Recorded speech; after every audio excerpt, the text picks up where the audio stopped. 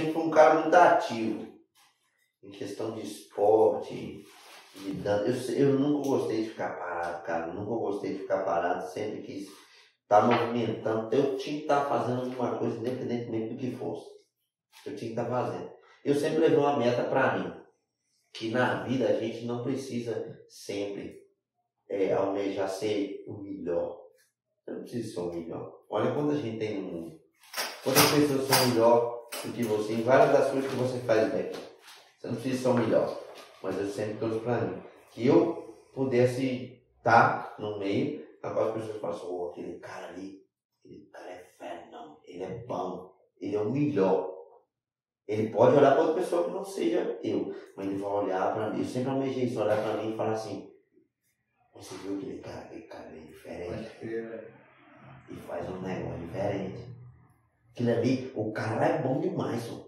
Isso aqui pode às vezes até não estar no nível tem diferente. Eu só quero ser diferente, porque eu sou diferente de todas as outras pessoas do planeta Terra. Eu não tenho que ser igual a ninguém. É a história Michael Jordan que eu te falei. Ser bom e ser você. Eu tenho que ser eu, tenho que ser diferente. Então por isso, tipo assim, desde o início. É, a história começou com eu pequeno, novo, com bronquite asmática, cheio das paradas lá tudo, precisava fazer um esporte. Alguma coisa contra o bronquite asmático? Eu tenho bronquite. Tem- Nem eu, nem eu. Então estamos dando eu tô Tá? Então aí o que, que me foi me recomendado? Desde pequeno, né? recomendado no caso dos meus pais. Botar a criança para fazer um esporte.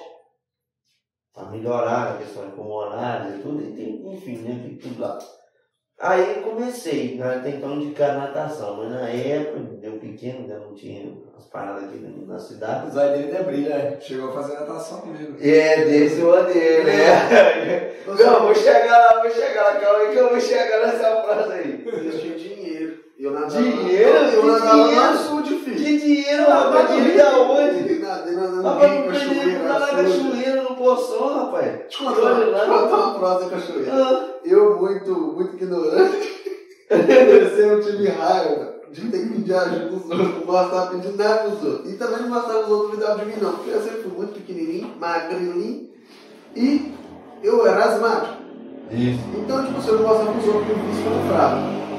É, você, você, você É, quer se igualar, eu você quer- todo, todo, todo ferrado.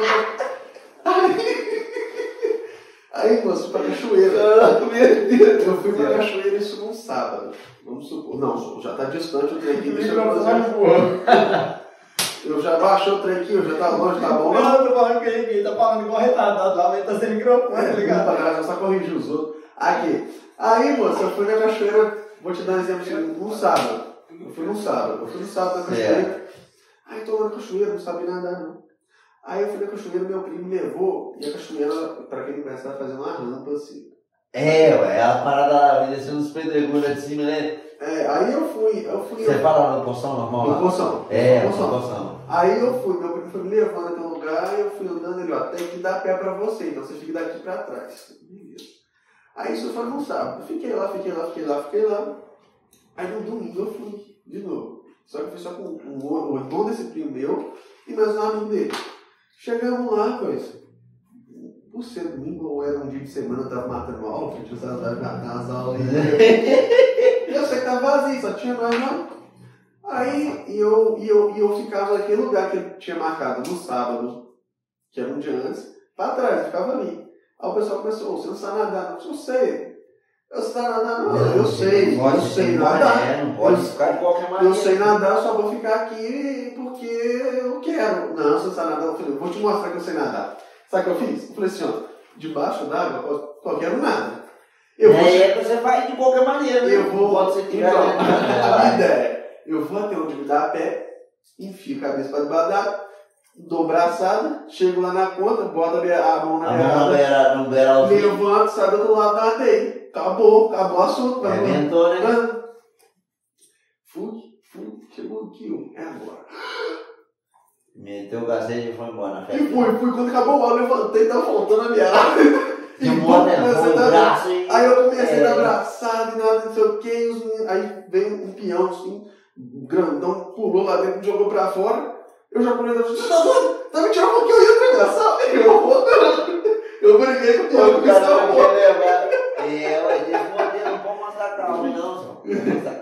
Aí você foi pra natação? É, rapaz, aí eu, não, aí na época pediram, tipo assim, eu comprei que a natação não tinha. Aí um esporte no qual vá movimentar bastante o corpo, mexer também com essa parte. Aí na época capoeira. Aí eu comecei a treinar capoeira, era piquititite mesmo. Menininho mesmo, tipo assim, a minha menina mais velha hoje está com dois anos e pouquinho, né? Pouca coisa depois disso aí. Aí comecei a treinar capoeira. Primeiramente, treinei capoeira, comecei a treinar capoeira, né? Tinha uma vocação muito grande para dar salto, dar umas pernadas, umas paradas assim, fui ficando bom, fui me aprofundando, fui aprendendo muita coisa e fui rompendo, beleza. Aí chegou um determinado momento da minha vida que muita coisa, mudança vai crescendo, né? E eu sempre tive vontade de experimentar várias coisas. E nisso eu saí da, assim, da capoeira, fui jogar bola, campo, meti o louco. Corria com coisa bola na caralho, que eu com, coisa que não, não houvesse o dia de amanhã eu corria. Corria, jogava tá direitinho e tal, né? Tinha, tinha uma qualidade ali, dava pra virar um negócio. Aí depois do, do, do bola assim, de, de gramado, fui pra quadra. Isso depois da perna machucada? Não, não, isso bem, bem É antes. que você falou do seu menino, um pouco. Não, não, ele, ele tinha idade da- mais um pouquinho mais velho que a menina mais velha dele, começou na capoeira e foi. Isso, Agora só comparei a idade ali, assim, entendeu? Ah, na qual eu iniciei na, capoeira. E depois jogando bola, é, gramado, depois quadra, aí beleza, aí passamos pro ginásio, passamos pro ginásio, aí vem, você vai ter mais entronamento com isso aí. E aí foi. Aí foi um dia que eu antes, não lembro se foi antes ou durante o ginásio, não lembro como, que foi. Mas aí eu cismei, eu falei assim, pô, aprendi a nadar, né? O pai me ensinou a nadar, eu sempre escutando as histórias do pai, meu pai trabalhou no Areião na época, escutando armadura afogada para ele aprender a nadar, eu falei, não quero pra mim não. É, né? A gente tem que procurar vida eu falei, não quero isso pra mim não, se iam me embaraçar aqui, me jogar num lugar desse aí, eu tô pedindo, não tô nada. É, eu não vai deixar morrer eu sou filho dele, porque no Africa já me deixava pelo lá.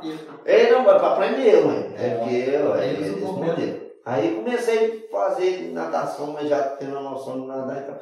Aí foi aonde né, eu conheci o, o Gustavo, era um fenomenal, e nós começou ali, a tropa toda nós nadando. Né não? Nós começamos lá de, de bobeira lá. Você já tinha um tempo que você praticava, eu comecei lá. Você falou em que você aprendeu, você ia aprender a nadar com seu pai jogando você lá no. É, eu, não- eu não queria não, entendeu? É. Eu aprendi dessa mesma forma. É desse modelo. É porque ele vem dos antigos. É, dos Vem dos, vem dos, an- os antigos é aquele negócio, ah, mano, que você vai, que não, não vai, não, você vai, o pau e deixa o pau quebrar. Eu vou falar. Ou você, ou você prende ou você morre. Vou falar, o Romaninho na, na natação, mano, é molecão, o Romaninho já nadava bem pra caralho. É só pra entender, o seu apelido é peixe. E eu já vi se eu te chamando de Mussu, né? Tipo, você, Saber. Quando foi por causa disso? É porque o Mussum, Seu Mussum é apelido do meu pai. Ah, pode crer. da época do Oreião, eu um trem assim, mostrou do meu pai. Então, aí quando eu comecei a treinar capoeira, o capoeirista sempre tende a, a, a apelidar o outro para ficar mais fácil. Meu nome é Rony, meu nome é um trem muito comum. Então, Mussum. Meu pai também, desde de sempre, daí, a gente já treinou também capoeira. Mussum, Mussumzinho. Eu era pequenininho, e Mussumzinho. Mas aí você vai crescendo, Mussumzinho, Mussumzinho, Mussumzinho. Mussum, Mussum, Mussum, meu pai parou de praticar, ainda tinha continuado na época Mussum. Mussum, aí comecei a treinar natação, rapaz. Aí eu comecei a gradar daquilo, né? É porque tava no verão. Ah, o inverno separa os homens dos meninos. né? É porque tava no verão, moço. Aí beleza, aí todo mundo treina de manhã cedo, todo dia. Todo dia. Era sete, sete e pouquinho, sete anos, nós tava na beirada daquele trem. Aí, o verão pau quebrando, nós nadando aqui tudo, o peixe já embalado, a irmã dele, a Natinha, o pessoal todo. Falou, tem que apanhar um embalo esse pessoal. Não posso ficar o Lucas, o Lucas Silva, Lucão. Lucão, como faz não, o Lucão é chegado mesmo demais. Rapaz, aí eu falei assim, gente, eu, não posso- eu sou o único preto no lugar. Alguma coisa diferente eu tenho que fazer. Posso ficar pra trás, o preto fica por último mesmo demais.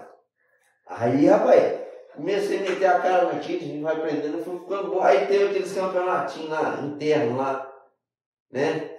Teve, campeonatinho interno, aí, né?